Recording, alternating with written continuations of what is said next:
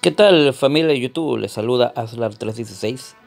Eh, como les dije, iba a hablar de otros juegos y en este caso traigo pues este excelente juego de, eh, de lore o Legend of Runeterra. Eh, ya lo tengo jugando ya dos meses aproximadamente, entre un 29 de mayo a jugar este juego y es un juego que es reciente, empezó recién el 26 de abril. ¿No? Recién está eh, en lista en la Play Store, porque yo tengo un Android. Y pues no sé si estará disponible también para eh, Apple, creo que sí, ¿no? Porque es una empresa muy conocida, un juego fantástico. Eh, voy a hablar a grandes rasgos y poco a poco, no todavía a detalle, ¿no? Porque este es el primer video y quiero para ver si a ustedes les gusta, ¿no? Y puedan jugarlo también. Es totalmente gratuito. Lo bonito de este juego es que es gratuito, totalmente gratuito, no puedes gastar nada de eh, dinero en él. Pero si quieres pues eh, eh, tener las mejores cartas desde un principio lo puedes hacer. Aquí en tienda.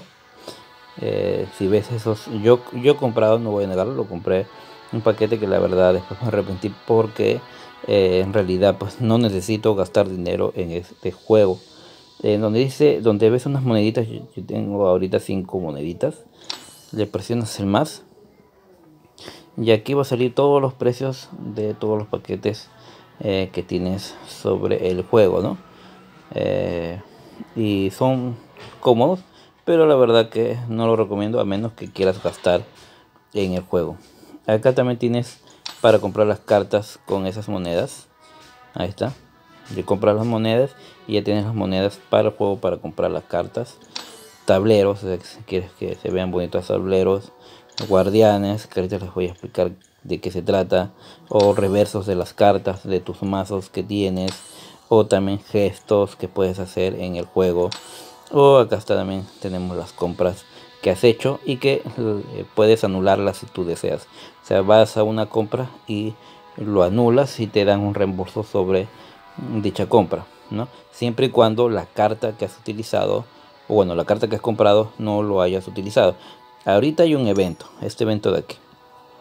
Ah, son, quedan 18 días, dura hasta el 17 de agosto si no me equivoco, ¿no?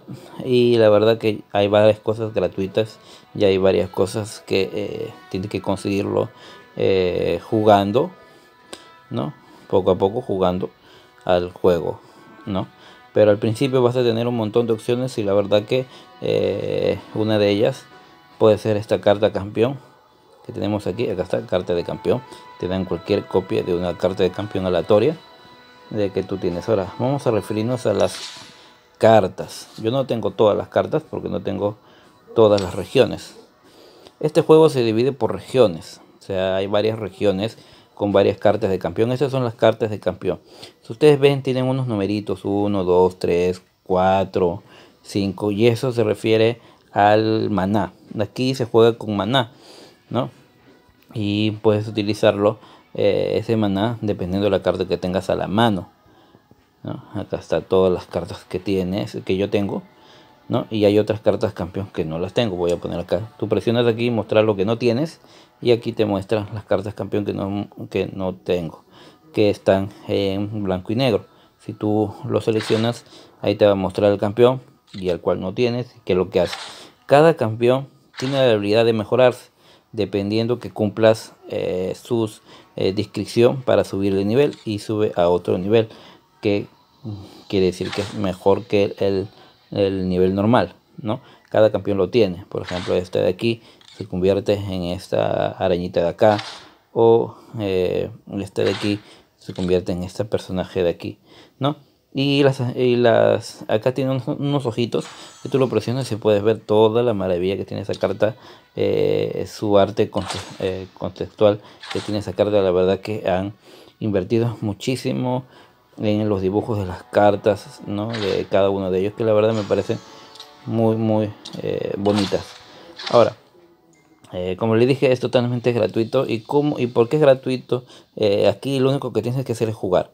Te vas a la parte de recompensas y y aquí vas a ver todas las regiones que existen en la parte inferior donde dice cambiar de región. Acá tienes todas las regiones.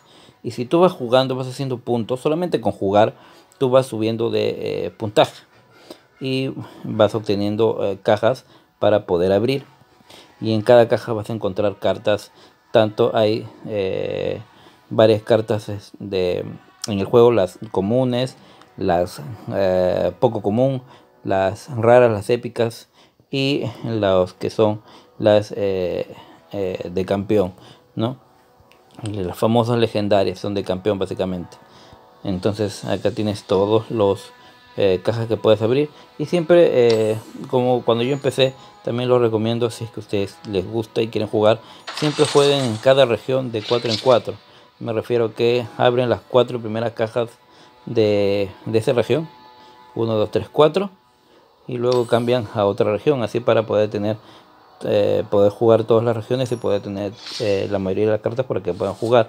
Hay mazos que ustedes pueden crear sin campeones no o sea no necesitan tener campeones si no tienen campeones no es necesario que los jueguen al principio si es que es la primera vez que van a jugar eh, acá donde dice jugar van a tener que yo les recomiendo jugar los desafíos jueguen los desafíos para que vean todas las mecánicas que tiene el juego y cada desafío les van a dar cartas nuevas. Entre ellas van a haber cartas de campeón para que puedan empezar a jugar. Pero lo recomendable para hacer un buen mazo o una buena baraja es eh, tener por lo menos tres campeones ah, para poder jugar. Ahora eh, todos, los, todos los días van a tener aquí misiones que hacer. Por ejemplo dice influye daño a los enemigos fuera de combate. Si a ustedes no les gusta, lo presionan este de aquí, este dado que está aquí. Lo vuelven a presionar. Y le van a dar otra misión que se dice. Lanza dos hechizos o más hechizos en la misma ronda. ¿no? Entonces, ese, e, esas misiones, si lo hace, le dan puntos para poder abrir más rápido su área de recompensas. ¿no? Aquí en mi colección yo tengo todos estos mazos que he creado. ¿no? y que poco a poco pues les iré explicando qué mazos son los más adecuados. Entonces, así chicos, es el juego. La verdad que a mí me gusta bastante. Espero que a ustedes también les guste. Y cualquier duda sobre este juego, me lo hacen saber en la caja de comentarios. Yo voy a seguir subiendo eh, para que puedan pues mejorar bastante en este juego y puedan pues este que la experiencia sea eh, agradable, ¿no? Hay que tener bastante paciencia al principio porque la verdad que no te van a dar buenas cartas. Eh, las cartas campeones que te dan pues son casi regulares, pero hay otras que son muy buenas y que yo en transcurso de los videos les voy explicando cuáles son las mejores y qué baraja hacer al principio. Entonces eso sería todo chicos y chicas. Nos vemos hasta la próxima.